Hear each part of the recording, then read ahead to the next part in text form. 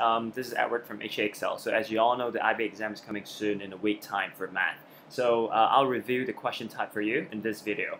So this is for math higher level. So the first question is on uh, function. So you're given a, a, a, rational function, fx equals 4x plus 1 over x minus 2. So how do you sketch this one? So absolute sign, right? So first of all, 1 over fx. Always remember, you have to flip it over first, right? So step 1, you flip over the equation first, right? Because 1 divided by that will, will be equal to x minus 2 over 4x plus 1. Okay, so second step, don't do the absolute sign uh, yet, okay? Because you can actually draw the graph of this first, okay?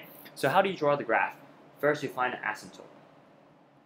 Find xy asymptote, okay? So, so that means like, I mean vertical and horizontal asymptote. So how do you find vert how do you find vertical asymptote? Always remember is the bottom equal to zero, denominator equal to zero, right? So you look at this one.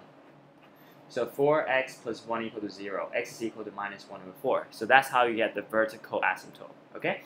And then find the horizontal asymptote. So how do you find horizontal asymptote? Always sub in x equals to 1099, or you can say infinity into the equation, right? Okay, so into this equation. So you sub in into uh, infinity into here. So just look at the number in front of the x, right? This is 1 and this is 4, right? So infinity, infinity. So this one you can ignore that. Then y is equal to 1 over 4. Yeah? Okay, so one more example that is like if I give you 3x minus 2x uh, plus 4. So what is the horizontal uh, horizontal asymptote? That would be 3 over 1, right? y equals to 3. So this is a very basic skill. And then, after you find the asymptote, you need to find the intercept. Yeah? So intercept, x, y intercept. So when is y-intercept, you submit x equal to 0, right? So it will be minus 2. And how about x-intercept? x-intercept is when the y is equal to 0, right? So y equals 0, then x minus 2 equals 0, x is equal to 2. Yeah? So after all this, then you can start to draw the graph. Okay? Don't draw the absolute sign graph yet. So draw the original one.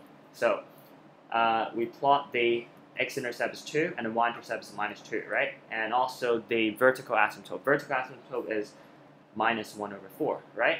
And for the y-intercept is 1 over 4, okay? Yeah? So, and rational function, the graph is always like this. So you, you have the asymptote right here, so pass through the x-y-intercept, right? And the opposite graph must be right here, okay? So if I have a line if, if I have a curve right here, then it will be opposite to this way, yeah? So step four, then you do the absolute sign, okay? So absolute sign, that means, what does it mean by the absolute sign here? That means all the y is positive, right? There's no negative y. So there are only one bit that is negative, yeah? So you flip it up. Okay, so maybe I use the other color. So this one would be like this, yeah? So then you erase this part. Yeah?